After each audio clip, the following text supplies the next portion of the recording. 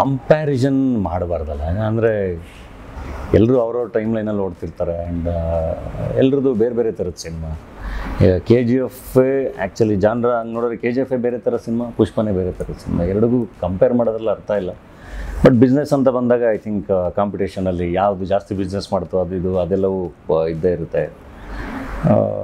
So ಅದ್ರ ಬಗ್ಗೆ ನಾನೇನು ಹೇಳೋಕ್ಕಾಗುತ್ತೆ? I I would love to be part of good film ಖಂಡಿತ ಕೆ ಜಿ ಎಫ್ ಕನ್ನಡದ ಹೆಮ್ಮೆ. ಪುಷ್ಪ ಕೂಡ ಅಲ್ಲಿ, ತೆಲುಗಿನ ಹೆಮ್ಮೆ, ಅದು ಕೂಡ. ಎರಡು ನಾರ್ತ್ ಇಂಡಿಯಾದಲ್ಲೂ ಕೂಡ ತುಂಬ ದೊಡ್ಡದಾಗಿ ಬಿಸ್ನೆಸ್ ಹೇಳ್ತಿರೋದು ನಾವು ತಮಿಳ್ ಸಿನಿಮಾಗೆ ಡಮನಲ್ಲಿ ಶೂಟ್ ಮಾಡ್ತಿರ್ಬೇಕಾದ್ರೆ ಇನ್ನು K G F two release ಆಗಿರಲಿಲ್ಲ. ಪುಷ್ಪ ಎಲ್ಲರ ಮೊಬೈಲಲ್ಲಿತ್ತು, ಎಲ್ಲ ಡ್ರೈವರ್ಸ್ಗಳ ಮೊಬೈಲ್ಗಳಲ್ಲಿತ್ತು. ಸೊ ಹಂಗೆ ಈ ಕೆ ಜಿ ಎಫ್ ರಿಲೀಸ್ ಆದಮೇಲೆ ಇವಾಗ ಕೆ ಜಿ ಎಫ್ ಅದೆಲ್ಲರ ಹತ್ರ ಇರುತ್ತೆ. ಹಾಗೆ ಅಂದರೆ ಎಲ್ಲ ಥರದ ಸಿನಿಮಾಗಳು ಬೇಕು, ಎಲ್ಲ ಭಾಷೆಯಿಂದನೂ ಬೇಕು. ಆ್ಯಂಡ್ ಖುಷಿ ಅಂದರೆ ಇವತ್ತು ಭಾರತೀಯ ಚಿತ್ರರಂಗ ಅಂದರೆ ಬಾಲಿವುಡ್ ಅಷ್ಟೇ ಅಲ್ಲ.